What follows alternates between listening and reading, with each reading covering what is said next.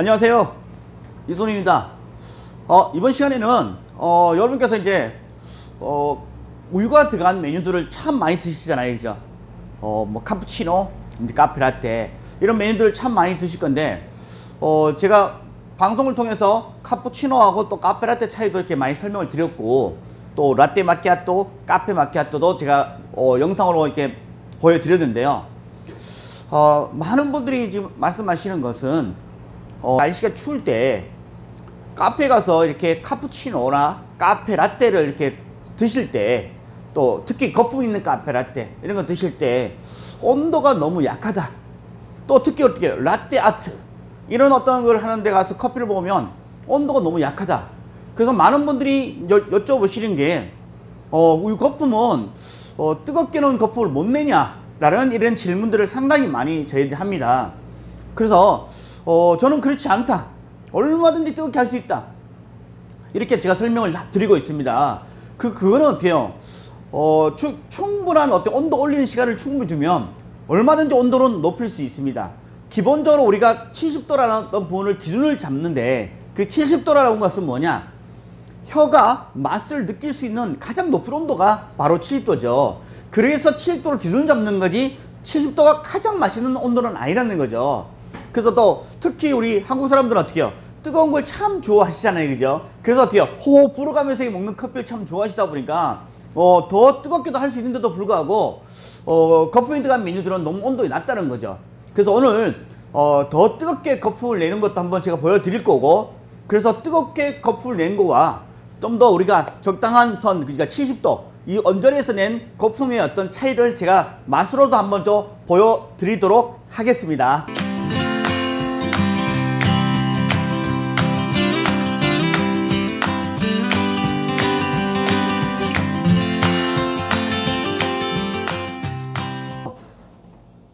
70도로 70도로 거품을 먼저 한번 내보도록 하겠습니다.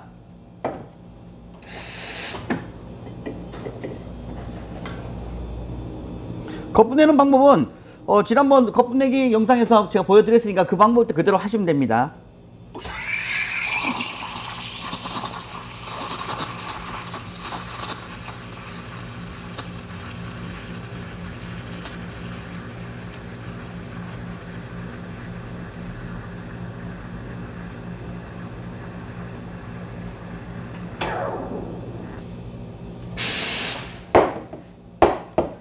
자, 지금은 70도로 먼저 거품을 냈습니다. 자, 이번에는 어, 좀 더 뜨겁게 70도보다 훨씬 더 뜨겁게 거품을 내보도록 하겠습니다.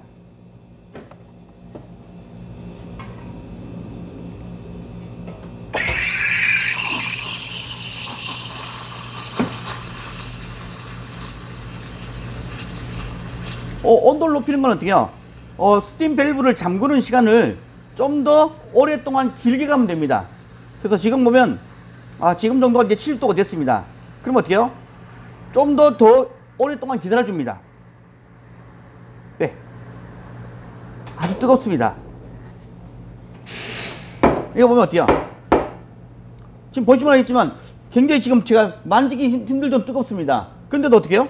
거품은 아주 곱게 이렇게 거품이 만들어졌습니다. 자, 그러면 어때요? 이렇게 아주 뜨거운 어떤 상태의 어떤 거품과 그 다음에 어때요? 아까 말씀드렸던 70도 70도 정도의 어떤 거품을 냈을 때 어떤 메뉴를 만들었을 때 어떤 맛의 차이는 어떤지를 제가 한번 또 만, 메뉴를 만들어서 또 설명드리도록 하겠습니다 자 이렇게 이제 어 제가 여기는 이제 80도 여기는 이제 70도 정도의 이제 우유 거품을 낸 거 가지고 메뉴를 만들 건데요 여러분들한테 어 직접 온도계로 한번 온도를 확인 한번 시켜 드리겠습니다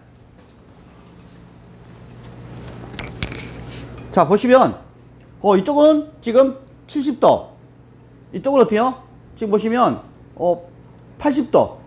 80도 올랐죠. 그래서 이렇게 어 한쪽은 제가 오른손에 들어있는 거는 80도가 지금 넘습니다 80도가. 거의 85도. 그 다음에 여기 지금 제가 왼손에 들고 있는 건 어때요? 70도입니다. 그러면 이 두 개의 어떤 거품을 이렇게 흔들어 보면 실제로 어때요? 이렇게 80도가 넘게 거품을 내도 아주 곱게 만들어진다는 거죠. 그러면 어때요? 70도로 해도 거품이 아주 곱게 만들어진다는 거죠. 또 결국은 어때요?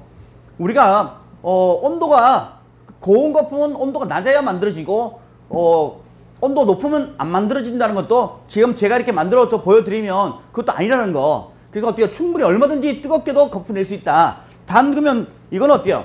메뉴를 만들 때는 어떤 차이가 있는지를 한번 제가 메뉴 만들어 보도록 하겠습니다. 먼저 70도 되온 걸 가지고 한번 카푸치를 만들어 보도록 하겠습니다. 그래서 똑같은 맛의 어떤 비슷한 맛을 내기 위해서 제가 그냥 스푼을 떠서 놓도록 하겠습니다.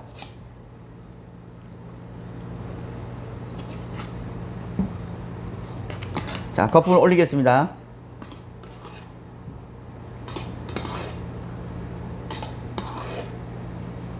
자, 이쪽은 70도로 만든 거. 여기는 이제 85도. 아까 제가 보셨지만 85도로 만든 거.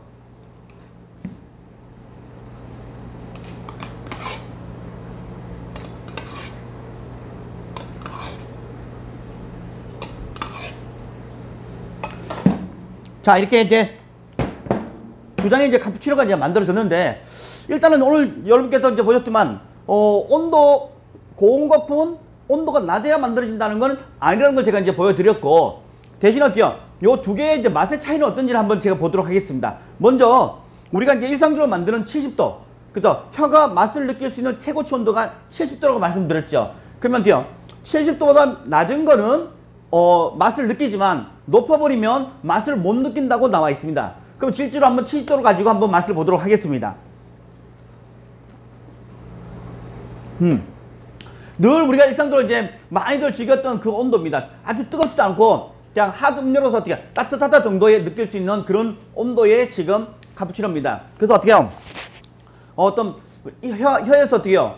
맛이 어, 아주 디테일하게 맛을 느끼지는 않지만 그래도 어떻게 해요? 맛을 감지를 할 수 있습니다. 제가 아까 85도로 데운 걸 가지고 한번 맛을 보도록 하겠습니다. 음. 이 85도로 된 우유가 들어간 거 보니까 어, 뜨겁습니다. 커피가 입에 들어가니까 뜨거운데 어 뭐랄까 라이트하다, 가볍다 뭐 이런 느낌이 들어요. 왜? 커피 자체가 좀더 쓴맛도 더 올라옵니다. 그러니까 이렇게 70도로 우유 데운 걸 가지고 먹어보면 약간 고소하다. 고소하다는 느낌이 있는데 이 85도로 데운 우유로 먹으면 그냥 혀가 맛을 못 느끼니까 어떻게 해요? 좀 가볍다? 라이트하다? 이런 느낌이 가, 가, 그, 듭니다. 그러니까 결국은 어때요? 어, 목적이 나는 커피가 아까 있는 건좀 고소한 맛을, 커피 맛을 즐기자 한다면 온도가 좀 낮은 게 좋고 나는 진짜 이렇게 어, 추우니까 좀 따뜻하게 먹고 싶다. 그러면 어때요? 혀에서 맛은 좀 덜 느껴지지만 그래도 어때요? 그 따뜻함으로 먹을 수 있는 목적. 그러니까 어때요? 항상 여러분께서 생각하실 때, 어, 또 커피숍 갔을 때도 주문하실 때도 마찬가지고 내가 좀 따뜻한 걸 먹고 싶다면 어때요? 좀 뜨겁게 주세요. 또는 내가 좀 커피의 맛을 좀 더 많이 느끼고 싶다면 어때요? 조금 온도를 낮게 주세요. 이렇게 주문하시는 게 좋을 것 같습니다. 그래서 오늘 여러분들한테 설명드리고 싶은 거는 결과적으로는 어, 우유 거품은 온도가 낮든 온도가 높든 얼마든지 거품을 곱게 낼 수가 있다. 그러면 실질적으로 보면 우유를 뜨겁게 또는 좀 낮게 하는 목적은 바로 맛을 좀 더 느끼고 고소함을 느끼게 할 것인가 아니면 좀 뜨겁게 먹을 것인가 여기서 결정을 하면 좋을 것 같습니다. 그러면 여러분께서 이제는 카페 가셔가지고 이렇게 좀 주문하실 때도 이제는 어때요? 이렇게 생각을 하시면서 어때요? 우리 바리사님들께 주문하시면 여러분께서 더 즐겁고 행복한 커피를 마실 수가 있겠죠? 고맙습니다.